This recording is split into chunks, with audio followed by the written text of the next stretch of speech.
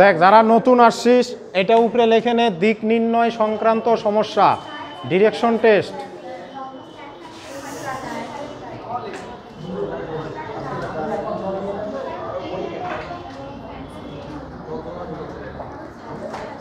আমরা দিক নির্ণয় সংক্রান্ত সমস্যার মানে পার্ট ওয়ান করছিলাম মানে যেটা কি কিলোমিটার ওয়াইজ বা মিটার ওয়াইজ এত মিটার ডান দিকে গেল, বা দিকে গেল হ্যাঁ এদিকে গেল, এখানে গিয়ে থামলো ওই রকম হয়েছিল। আর আজকে যেটা হবে, সেটা ডিগ্রি ওয়াইজ মানে এত ডিগ্রি এদিকে ঘুরবে, এত ডিগ্রি এদিকে ঘুরবে, এরকম হবে বিষয়টা হ্যাঁ?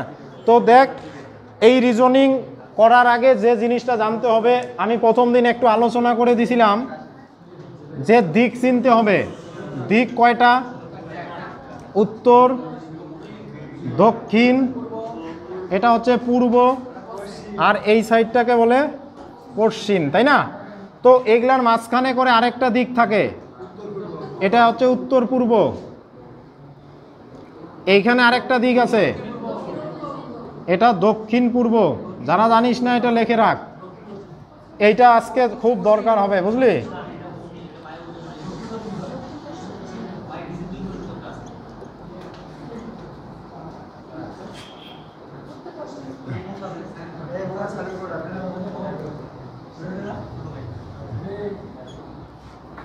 টোটাল হচ্ছে মেন দিক হচ্ছে চারটা, চারটার মাঝখানে আরেকটা করে দিক থাকে।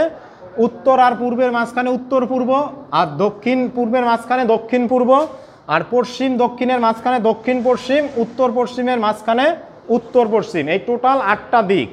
আর এখন যে জিনিসটা করাবো সেটা ডিগ্রি ওয়াইজ আর ডিগ্রি ওয়াইজ ঘুরলে যে বিষয়টা আসে আচ্ছা তোরা বলতো, এটা যদি লম্ব ধরি, এটা যদি আমি ভূমি ধরি, তার মানে এখান থেকে এই পর্যন্ত কতটুক?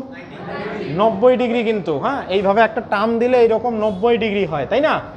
আর এইটুক এইখান থেকে এই পর্যন্ত নব্বই ডিগ্রি, তো এটার মাঝখানে যদি যায় তাহলে এইটুক কত?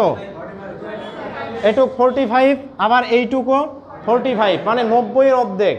তো এইভাবে এইটুক আসলে নব্বই, এইটুক যদি আসি, আরেক নব্বই, আবার এইটুক গেলে আরেক নব্বই, আবার এইটুক গেলে আরেক নব্বই। তার মানে একটা গোল যাওয়া মানে চার যাওয়া, তাই না? আর চার মানে কত? তিনশো ষাট ডিগ্রি। তার মানে আমি যদি বলি, এই মাঠের চারদিকে একটু ঘুরে আয়, তার মানে তুই কত ডিগ্রি ঘুরবি? তিনশো ষাট ডিগ্রি। দেখ, এখান থেকে জিনিসটা ক্লিয়ার হয়, একটা মাঠের চারদিকে ঘুরে আসা মানে তিনশো ষাট ডিগ্রি ঘুরে আসা, তাই না? আর এরকম একটা যদি দাগ দেয় এটা কয় ডিগ্রি? এটা একশো আশি ডিগ্রি। এইভাবে কিন্তু বোঝা যায় না। এই যে এখানে একটা দাগ দিলেই বুঝতে পারবে। এইটুক কত? এইটুক কত? নব্বই। তো এটা এখন যদি তুলে দেই, এইটুক কত? একশো আশি ডিগ্রি। তার মানে আমরা যদি এইভাবে সোজাসুজি দুইজন দাঁড়াই, আমরা কত ডিগ্রি কোণ করে দাঁড়াই আছি? একশো আশি ডিগ্রি। বুঝতে পারলি? দুইজন মানুষ যদি মুখামুখি সোজা হয়ে দাঁড়াই থাকে, তার মানে কত ডিগ্রি কোণ করে আছে? একশো আশি ডিগ্রি। তো এইভাবে একটা দাগ দেওয়া মানেই একশো আশি ডিগ্রি। আরেকটা জিনিস এইখানে আসবে, যেটা বারবার আসবে ক্লোক ওয়াইজ আর anti cloak wise cloak wise কথার মানে ঘড়ির কাটার দিকে আর অ্যান্টি ক্লোক ওয়াইজ কথার মানে ঘড়ির কাটার বিপরীত দিকে। আবার একটা জিনিস জানতে হবে, ঘড়ি কোন দিক থেকে কোন দিকে ঘুরে? এই দেখ, ঘড়ি এইভাবে ঘুরে। এটা সাপোজ যদি আমি ঘড়ি ধরি, ঘড়ি এই দিকে ঘুরে না? ঘড়ির কাঁটাগুলা এই যে এইভাবে ঘুরে, ডান দিক থেকে বাঁ দিকে ঘুরে। ঘড়ির কাঁটা এইদিকে ঘোরে। তাহলে এইটাকে কি বলব? ক্লোক ওয়াইজ ঠিক আছে? এই clockwise anti cloak wise কথাটা বারবার আসবে কিন্তু এই রিজনিংয়ে ক্লোক ওয়াইজ ঘড়ির কাটার দিকে ঘুরে, তার মানে কোন দিকে? এই দিকে মানে উপর থেকে নিচের দিকে। আর যখন বলব অ্যান্টি ক্লোক ওয়াইজ তখন উপর দিকে, এই যে এরকম, উল্টা দিকে। এটা এটা কি বিপরীতে? মানে ঘড়ির কাটা যদি এদিকে আসে, এটাকে বলব ক্লোক ওয়াইজ আর এইভাবে যদি যায়, সেটা অ্যান্টি ক্লোক ওয়াইজ মানে অ্যান্টি ক্লোক ওয়াইজ যদি লেখা থাকে, তাহলে তীর চিহ্নটা উপর দিকে উঠবে। আর ক্লোক ওয়াইজ বলা থাকলে নিচের দিকে আসবে তীর চিহ্নটা। এই নলেজটা থাকলেই তুই এখন ডিগ্রি ওয়াইজ এই রিজনিং করতে পাবি। এখন প্রশ্ন লেখ। এটা যদি কেউ না জানিস, একটু এইভাবে লেখে রাখ। ঘড়ির কাটা এদিকে ঢোকে, এদি- এদিকে ঘুরলে ক্লোক ওয়াইজ আর এদিকে গেলে অ্যান্টি ক্লোক ওয়াইজ মানে ঘড়ির কাটার বিপরীতে।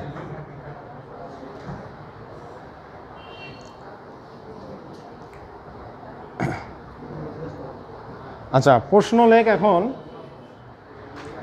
এক ব্যক্তি উত্তর দিকে মুখ করে দাঁড়িয়ে আছে।